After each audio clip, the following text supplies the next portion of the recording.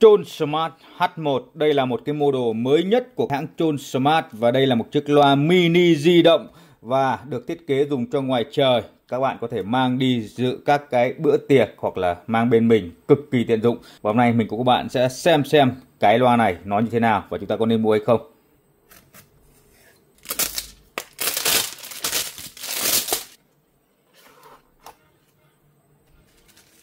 Hút ẩm nhân vật chính của chúng ta đây. Nhưng trước khi xem nhân vật chính chúng ta sẽ xem về các phụ kiện. Sách hướng dẫn sử dụng, thẻ bảo hành. Phụ kiện chỉ có thêm một cái cáp sạc Type-C. Ok, chúng ta sẽ xem về nhân vật chính. Và đây, đây chính là nhân vật chính.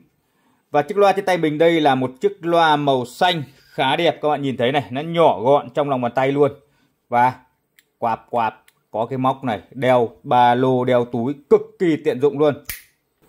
Thì với Tron Smart H1 này, các bạn sẽ có hai màu để các bạn lựa chọn. Đó là màu đen và màu xanh. Thì các cái thông số kỹ thuật thì à, đều được hãng in ở đây, các bạn nhìn thấy đây. Và sạc của nó là đầu vào là 5V 1A thì cái cổng sạc của nó là cái cổng sạc Type-C ở phía dưới này, các bạn nhé. Thì diện mạo của nó bên ngoài thì các bạn có thể nhìn thấy đây, mặt trước của nó thì nó gồm có một cái nút play này nút à, tăng giảm âm lượng và đồng thời là chuyển bài này logo Chôn Smart này. Ở phía trên phía trên thì nó có cả series luôn nhé các bạn nhé. Đấy, series này. Và đằng à, trên này thì nó có hai cái nút, một là nút bật nguồn và nút ờ, kết nối bluetooth này. Thì các bạn thấy loa này là chúng ta cần phải để nằm nó như này nhá, nằm ngửa lên để mời anh sơi như này nhá. Chứ để đứng như này, không được. Để ngang, cũng không được. Không được và bắt buộc chúng ta cần phải để nằm như này. Nó mới vững chãi được. Và cái mặt loa là cái mặt này nhá. Do đó là cái loa này luôn luôn là hướng lên. Còn nếu các bạn muốn để đứng thì các bạn phải treo lên như này nhá. Chứ không là chúng ta để này là nó sẽ không thể để đứng được. Để sử dụng chiếc loa này thì cũng khá đơn giản thôi. Các bạn sẽ nhấn giữ cái nút nguồn này trong khoảng 2 giây. Là loa đã bật lên thì các bạn nhìn thấy cái đèn xanh ở đây nó nháy nháy là đang chờ kết nối bluetooth. Và các bạn sẽ dùng điện thoại, các bạn sẽ bật bluetooth lên để chúng ta sẽ tìm ra cái loa. H1 đây các bạn nhìn thấy điện thoại tìm ra cái loa H1 đây các bạn bấm vào để chúng ta kết nối. Ok nó đã kết nối xong rồi. Thì khi mà kết nối xong thì các bạn nhìn thấy cái đèn Bluetooth này nó sáng đứng im. À, là nó thể hiện là đã kết nối. Còn cái đèn trắng này là nó thể hiện cái mức pin nhé các bạn bấm cái nút nguồn một lần này thì là nó sẽ ra à, cho chúng ta xem là cái mức pin là bao nhiêu phần trăm. Hiện tại là nó đang đủ đầy đủ 100% rồi. Và khi mà đã kết nối xong rồi thì đơn giản là các bạn chỉ cần à, mở nhạc À, và phát trên loa thôi. Các bạn thấy là cái thao tác nó cũng khá đơn giản đúng không ạ? Rồi bây giờ mình sẽ mở một số bài nhạc để test thử xem cái chất lượng âm thanh của con này nó như nào. Quả đây này. Thì các bạn à, có thể là điều khiển nhạc bằng cái nút ở trên này luôn. Các bạn nhấn một lần là nó sẽ dừng nhạc này. Các bạn nhấn một lần nữa là nó phát lại nhạc này. Còn đây là to nhỏ này, tăng này. Các bạn bấm một lần là nó tăng to này. Đấy. Bấm một lần thì nhỏ này đây, mình cho nhỏ đi nhá. Đấy, đây là đang cho nhỏ đi rồi. Còn nếu như các bạn mà nhấn giữ cái nút cộng với nút trừ thì nó sẽ tự động chuyển bài nhá. Đấy, nó chuyển sang bài khác này. Lùi lại bài này. Đấy, lùi lại bài.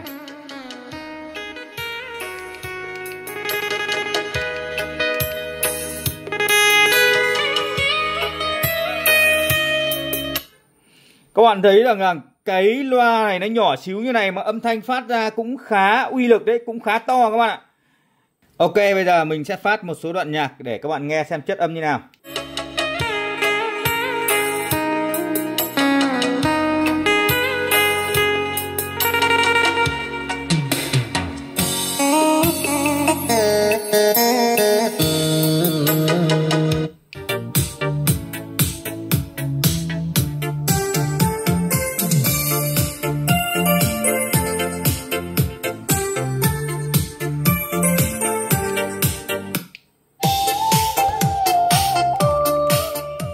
Ngoài ra với chiếc loa này khi mà các bạn đang kết nối loa với điện thoại mà có cuộc gọi đến thì các bạn vẫn có thể là nghe gọi thông qua cái loa này, người ta gọi là cái chế độ rảnh tay ấy. Thì hầu hết các cái thiết bị loa kết nối Bluetooth nào thì cũng đều có cái chế độ này thôi.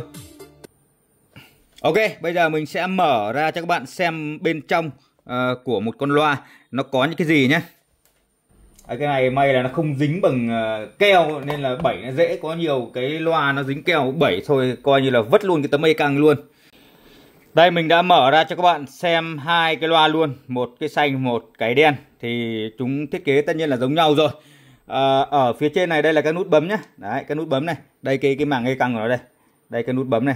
Và với cái dòng Tone Smart thì trong các video trước mình cũng đã chia sẻ các bạn đó là nếu các bạn có trên tay hai loa thì các bạn có thể kết hợp được hai loa với nhau, tạo thành một cái dàn âm thanh stereo, có nghĩa là dàn âm thanh chất lượng cao, dàn âm thanh hi-fi. Thì cái loa Tone Smart H1 này nó cũng có cái tính năng đấy. Và bây giờ mình test cho các bạn về cái tính năng dàn âm thanh hi-fi là như nào. Để kết nối hai loa này tạo thành một cái dàn âm thanh stereo, tức là dàn âm thanh chất lượng cao ấy, thì các bạn cần phải dùng một loa làm loa chủ để kết nối với điện thoại thì cái loa xanh này là mình đã kết nối với điện thoại thì các bạn nhìn thấy đèn bluetooth đã sáng đứng im như này là nó đã kết nối thành công tới điện thoại. Bây giờ mình bật cái loa đen này lên, các bạn bật loa đen này lên. Rồi, khi mà các bạn bật loa đen này lên thì các bạn nhìn thấy cái đèn bluetooth ấy, nó đang nháy, là nó đang chưa kết nối thì các bạn sẽ nhấn giữ cái loa xanh là loa chủ cái nút bluetooth này, nhấn giữ trong 3 giây để hai loa nó kết nối với nhau. Đấy, các bạn nhìn thấy chưa? Như vậy là nó nháy nhanh cái đèn của loa xanh, sau đó nó sáng đứng và cái đèn à, loa đen là đèn Bluetooth nó đã ngắt, chứng tỏ hai loa đã kết nối thành công với nhau rồi. Ok, bây giờ mình sẽ à, phát ra một cái bản nhạc mà nó có âm thanh hi-fi stereo. Các bạn để ý hai cái màng loa ở hai bên trái phải nhá. Mình bật này. Đấy bên trái loa xanh đang phát. Loa phải đang phát. Cả hai loa đang phát, Loa xanh đang phát. Đấy, các bạn thấy không? Đây chính là âm thanh hai file stereo. Và khi mà các bạn để hai cái loa này nó sang hai bên này, Thì các bạn nghe rõ âm thanh nó đảo giữa hai cái tai của chúng ta, đúng không? Loa phải hoặc loa trái nó phát. Nghe cực đã luôn, các bạn ạ. Đây này đấy đây là hai loa đang phát nhá. Đó và để có được âm thanh như này thì cái uh, nguồn nhạc của chúng ta nó phải là một cái chuẩn nhạc hi-fi. Thì ờ, nó mới phát ra được hai loa riêng biệt nha các bạn nhá. Đây là hai loa đang phát này các bạn thấy không? Hai loa đang phát cái đoạn âm thanh này là hai loa đang phát.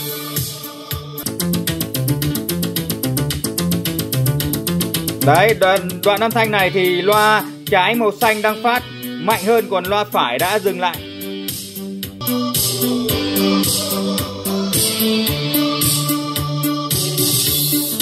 Bây giờ nó bắt đầu nó sẽ đảo sang loa phải này các bạn này, Loa phải màu đen nhá. Và loa trái màu xanh là bắt đầu dừng lại rồi. Đấy, bây giờ nó bắt đầu nó đảo sang ờ, màu đen này. Đây bây giờ là loa phải màu đen đang phát này. Còn ờ, loa trái màu xanh đã dừng lại thì đây chính là cái hiệu ứng mà âm thanh hi-fi, stereo và cái loa Tone Smart H1 này đã làm được cái điều đó. Và để ngắt kết nối giữa hai cái loa này, các bạn chỉ cần nhấn một lần cái nút Bluetooth ở loa chủ là lập tức là nó sẽ ngắt kết nối nhá. Đây, bây giờ loa chủ phát rồi. Còn cái loa vệ tinh thì nó không phát nữa. Các bạn có thể thấy cái loa chủ động chính nó phát này, thì những cái loa màng rung ở bên cạnh này, nó cũng đập này.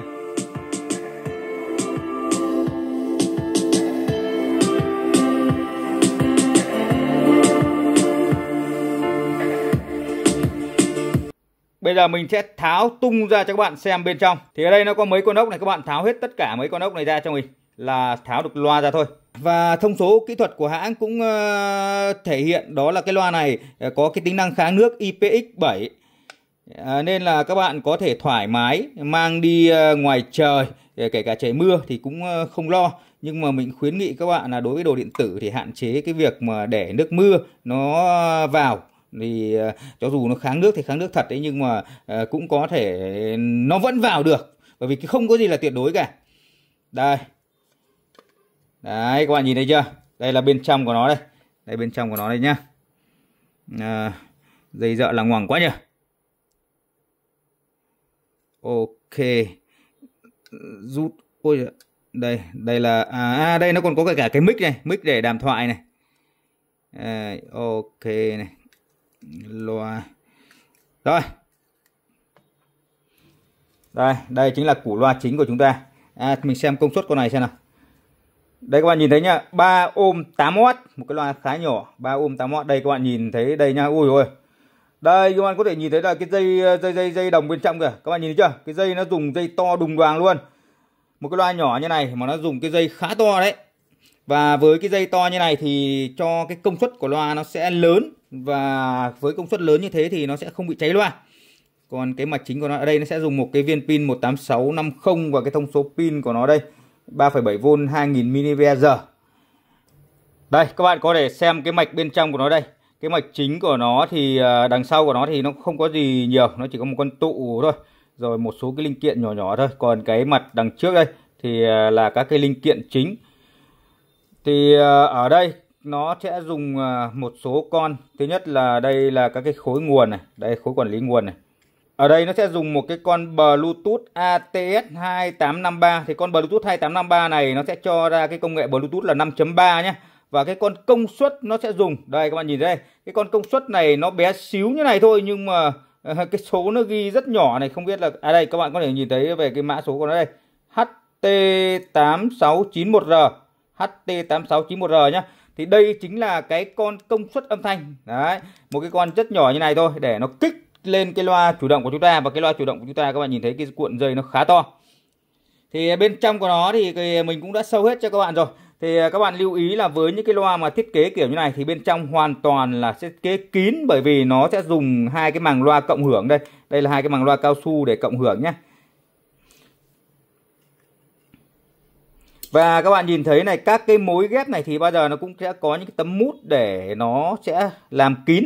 Đấy, và khi mà âm thanh nó phát ra nó không được hở ra. Bởi vì nếu hở ra thì cái hiệu ứng cộng hưởng của nó nó sẽ không đạt hiệu quả cao nhất. Và thứ hai nữa là có thể nước vào. Trong khi đấy với loa này được thiết kế là chống nước đi ngoài trời được. Thì vừa rồi mình cũng vừa mới chia sẻ cho các bạn tương đối chi tiết về cái loa Tone Smart H1 đây là một cái model mới nhất của hãng và các bạn thấy rằng cái loa này rất nhiều ưu điểm với cái tính năng nhỏ gọn, cơ động mang đi được. Và đây là một cái loa ngoài trời nên có khả năng chống nước được. Ngoài ra với chiếc loa nhỏ nhỏ như này thôi nhưng mà khi mà chúng ta sạc đầy pin nó có thể phát nhạc lên tới 20 giờ thoải mái cho các bạn đi vi vu khắp nơi.